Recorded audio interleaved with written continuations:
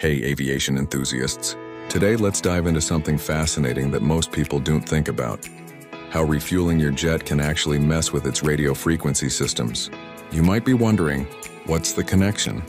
Well, buckle up because this is pretty cool. Imagine you're flying at 30,000 feet and it's time to refuel. As that fuel starts flowing into your aircraft, something interesting happens. The fuel movement creates what we call a triboelectric effect.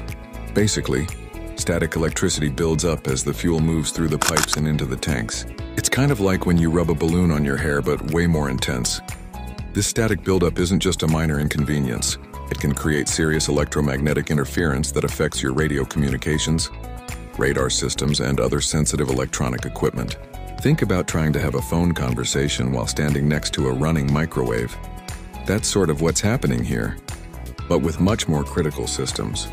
What makes this even more interesting is that different fuels can create different levels of interference. Jet A1 fuel, for example, tends to generate more static than some other types.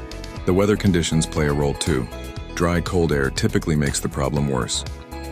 That's why modern aircraft have sophisticated static dissipation systems built into their fueling equipment.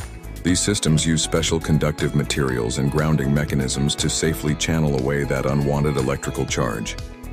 It's like having a lightning rod for your fuel system. But here's the thing that really blows my mind. This isn't just a modern problem. Back in the early days of aviation, pilots noticed their radio equipment acting up during refueling, but they couldn't figure out why. It took years of research to understand this invisible dance between flowing fuel and radio waves.